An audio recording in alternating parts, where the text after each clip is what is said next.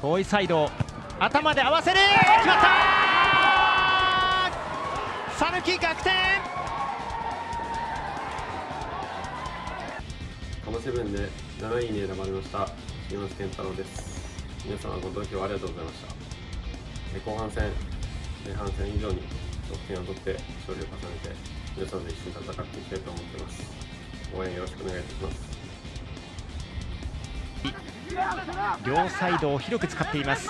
クロスボールが入ります。高いボール。秀の後ろ。決まった。同点。川崎一輝。カマセブンで6位に選ばれました。川崎一輝です。皆様の投票ありがとうございました。と、まあ、前半戦はあまり、えーいい結果が出せずに終わってしまったんで後半戦巻き返せるように頑張ります。よ応援よろしくお願いします。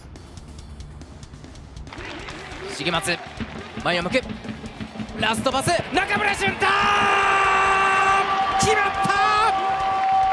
待ちに待った蒲田マーレ讃岐今シーズンの初得点。蒲田マーレ讃岐開幕を迎えました。カマセブンで5位に選ばれました。中村俊太です。皆様投票ありがとうございました。後半戦試合1試合勝利目指して頑張ります。応援よろしくお願いします。抜けていました。まだ讃岐ボールもう一度いいシュート決まった同点薩川前半アディショナルタイムイコライザー。カマセブンで4位に選ばれました薩川敦樹です。皆様の投票ありがとうございました。まあ後半戦個人としてもチームとしても結果にこだわって頑張っていきたいと思います。応援よろしくお願いします。薩川のクロス西本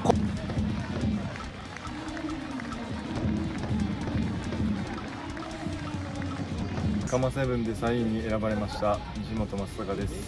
皆様の投票ありがとうございました、えー後半戦はチームとして個人としてもしっかり結果を出せるように頑張ります。応援よろしくお願いします。高いボールその竹内か。竹内どうだ？決まったか？竹内！こんにちは。カマセブンで、えー2位に選ばれた竹内です、えー皆様投票ありがとうございました、えー後半戦えーチーム一丸となって一つでも多くの勝利をお皆様と共有できるように、えー精一杯頑張りたいと思います。応援よろしくお願いします。おっ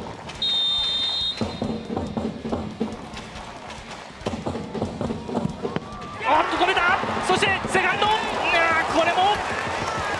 ビッグセーブ高橋拓也。カマセブンで1位に選ばれた高橋拓也です、えー皆様の投票ありがとうございました、えー後半戦、えー無失点の試合を1試合でも増やして、えーチームの勝利に貢献していきたいと思います。頑張りますので応援よろしくお願いします。